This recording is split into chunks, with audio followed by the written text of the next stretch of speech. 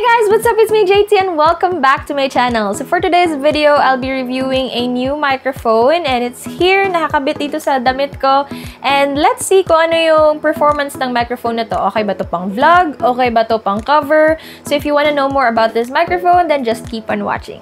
So itong microphone na to is called the BY-M1 from Boya. Ayan, ito yung box niya. And this one is a clip-on microphone or also known as a lav mic, lavalier microphone, or others call it as lapel. So here are the things that you can see inside the box. First off is the microphone itself with the lapel clip and this microphone also comes with a 6 meters na cable and meron din siyang capsule sa gitna ng microphone mismo na makikita mo yung camera, off, and smartphone switch. And when you twist this capsule, dito mo makikita yung battery compartment and you will need an LR44 na battery for this. This also comes with a foam windscreen. So, ilalagay mo lang to sa microphone, parang isusuot mo siya dyan. And this foam windscreen will help you filter external noise when recording. Meron din siyang 1/4 adapter, warranty card, a user manual, and this manual contains all the things that you need for this microphone. And lastly, this comes with the Boya black leather pouch. So, ito yung mga major features ng microphone na to. First off is that it's a clip-on mic for smartphones, DSLRs, camcorders, audio recorders, PC, etc. It is also an omnidirectional condenser microphone. It is also a high-quality condenser which is ideal for video use. And lastly, meron siyang low handling noise. So currently, umuulan dito sa amin and hindi ko alam if naririnig nyo dito sa microphone na to yung patak ng ulan. Pero ayun nga, pag hindi nyo narinig, ibig sabihin, okay tong microphone na to pang filter ng noise. Kasi aside from uh, low handling noise mismo yung microphone na to, meron din siyang kasamang foam windscreen, which is good for filtering noise. So ayan, lumalakas na po yung ulan dito and ang ganda ng timing. Kasi para matest talaga natin kung gaano siya kagaling mag-filter ng noise. Yeah. So, let's try to sing some songs using this love mic to see if okay ba siya pang covers. Kasi buying a recording condenser microphone is really expensive and you need to invest a lot of money for it. And let's try if okay ba to as an alternative to a recording condenser microphone. Summer after high school we first met We make out in your Mustang to Radiohead and on my 18th birthday, we got matching tattoos. Oh, used to steal your parents' liquor and climb to the roof. Talk about a future like we had a clue. Never planned that one day I'd be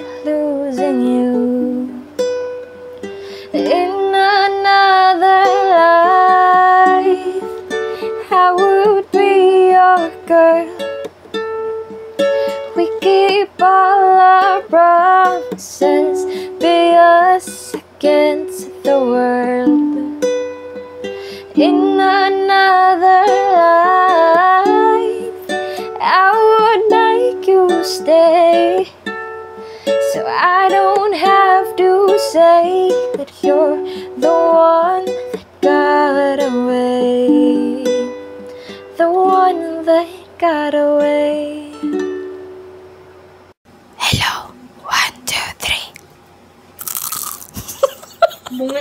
Bunga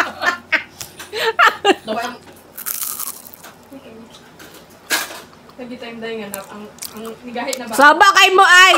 so this is my voice straight from the camera's microphone and this is my voice from the lavalier mic.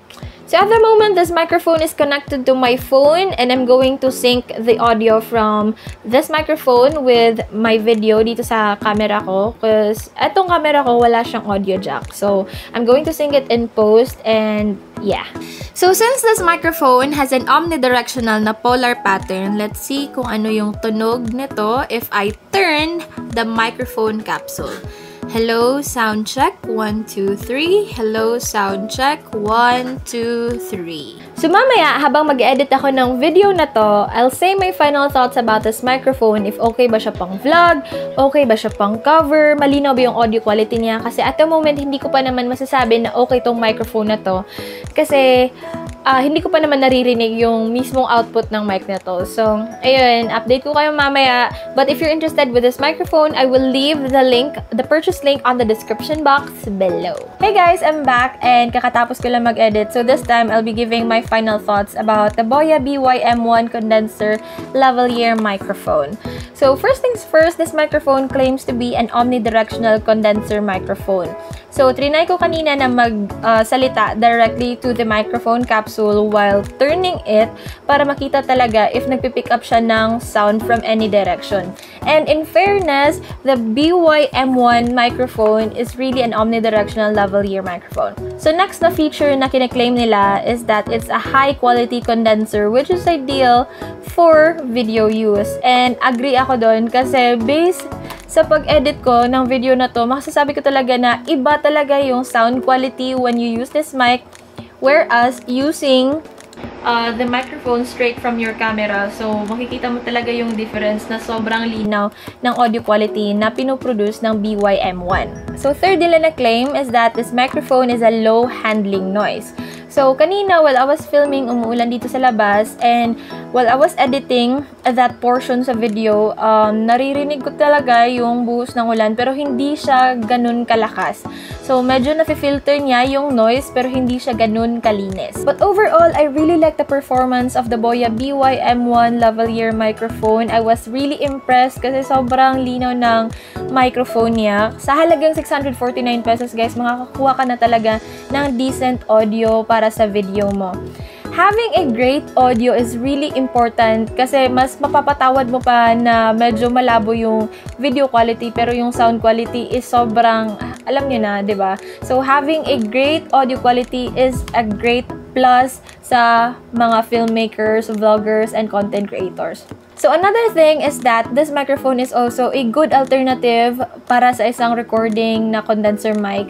And it's really cool if you speak directly sa microphone. Mas malinaw siya guys kaysa ikiklip mo lang siya dito sa damit mo. Just like this one. Ah, ayan, test natin.